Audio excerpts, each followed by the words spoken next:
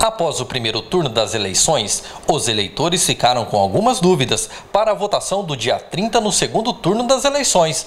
A principal delas é: não votei no primeiro turno, posso votar no segundo? Sim, o eleitor que não compareceu no primeiro turno não tem impedimento nenhum que ele vá votar no segundo turno. Na verdade, ele deve comparecer sim para votar nesse segundo turno, que vai ser no dia 30 de outubro.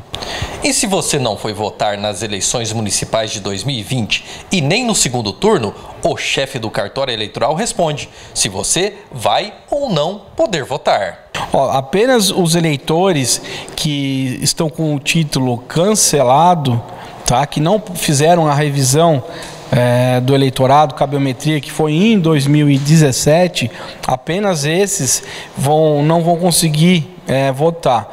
Já aqueles eleitores que eventualmente faltaram na eleição de 2020 em razão da pandemia, aquela eleição não gerou nenhuma ausência. Tem uma resolução do TSE que suspendeu os efeitos, ela não gerou nem multa momentaneamente, certo? Então, aquele que faltou em 2020 e o primeiro turno não tem impedimento nenhum, tá? E o eleitor idoso também não. Só se ele não fez a revisão é, da biometria em 2017 e está com o título cancelado. Aí ele não vai conseguir votar aquele jovem que não fez o título e faz o título agora, ele pode votar já nesse segundo turno ou não?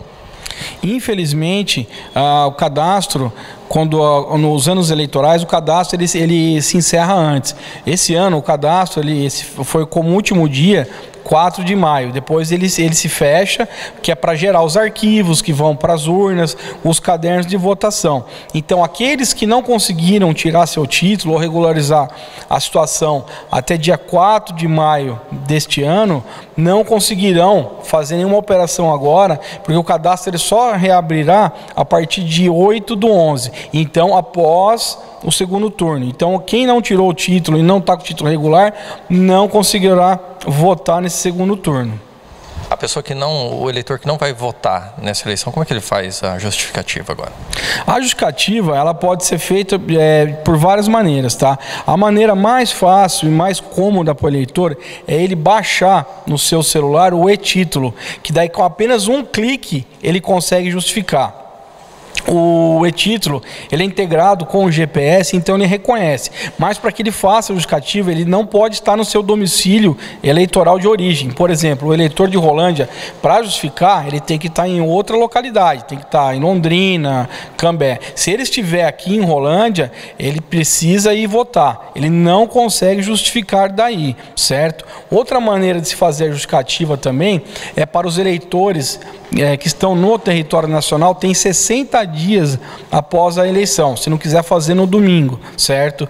Ele pode ter um sistema chamado que fica na página do Tribunal Regional Eleitoral do Paraná, chama-se Sistema Justifica. Ele entra lá, preenche um formulário eletrônico, anexa o comprovante né, dessa alegação que ele afirma em razão de não ter ido votar.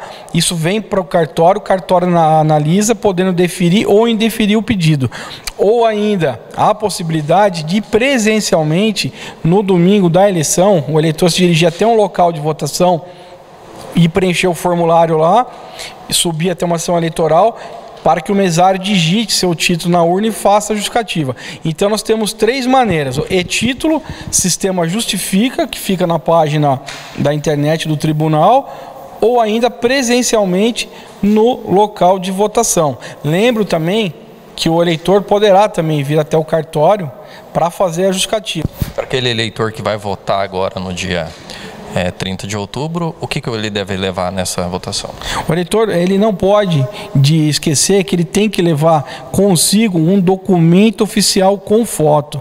É de suma importância, porque sem documento oficial com foto não poderá ser habilitado para votar. É importante, se ele achar também, levar o título de eleitor. Lembrando que o título de eleitor é, é dispensável. Mas acontece o que? No título de eleitor consta qual é a sessão eleitoral dele, para que ele não se perca quando chegar no colégio, saiba exatamente qual é a sua sessão eleitoral. Lembro ainda, se o eleitor fez a biometria, se ele baixar o e-título, é um documento digital da Justiça Eleitoral completo. Ele é um documento oficial com foto e ainda consta a sessão eleitoral. Lembro que aqui no Paraná teremos apenas o segundo turno para a eleição presidencial. Então, será apenas um voto e o candidato ele é identificado por dois números.